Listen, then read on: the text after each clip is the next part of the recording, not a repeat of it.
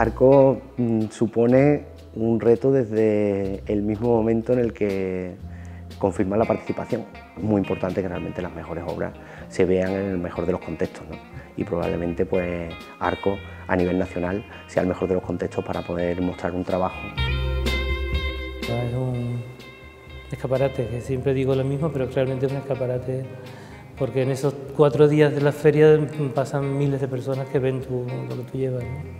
Este año hemos hecho un planteamiento diferente a los anteriores porque hemos incorporado a dos artistas muy jóvenes, que es la primera vez que participan con nosotros en una feria.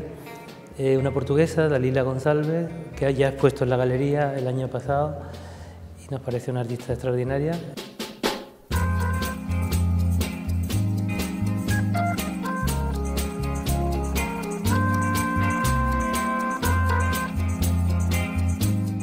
Y luego un artista que es la primera vez que expone en Europa, no que es Norman Morales, un artista de Guatemala, eh, arquitecto y, creador, ¿no? porque hace como instalaciones, es un, estupendo artista.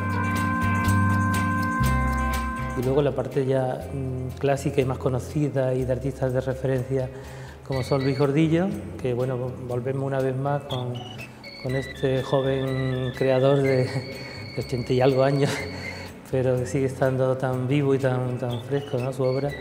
Y el equipo 57, que también es una referencia de toda la modernidad en España.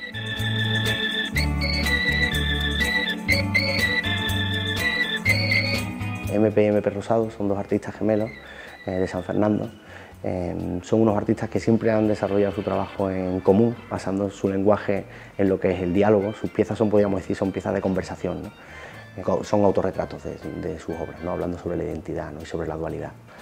En el caso de José Guerrero vamos a seleccionar una serie de piezas de su último proyecto, Roma, que tenemos actualmente en curso en la galería. Y de Jorge Yeregui vamos a presentar una instalación fotográfica eh, en la que realmente mm, se trabaja sobre lo que sería el concepto de la idea de territorio, paisaje, cómo el ser humano interviene.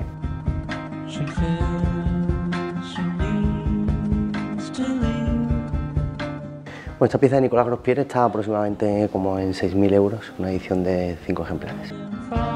En nuestro stand se podrán encontrar obras que arrancan desde los 1.000 euros hasta aproximadamente 30.000 que puede constar en una instalación del artista Bernardo Ortega. Desde 1.500, 1.000, creo que alguna obra de Dalila González, eh, pequeña, hasta en torno a los 100.000 que puede valer una obra de equipo 57 de un formato respetable, ¿no? o el propio Gordillo. ¿no?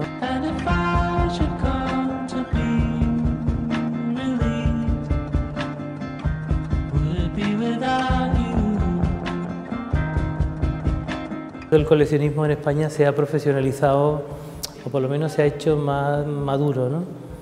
Antes se compraba de una manera un poco más mm, impulsiva, ¿no? para llenar mm, huecos ¿no? dentro de las colecciones. Ahora la gente es, más, es mucho más sensible ¿no? a lo que está viendo.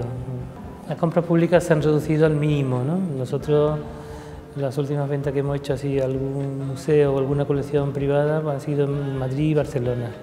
En Andalucía muy poquito.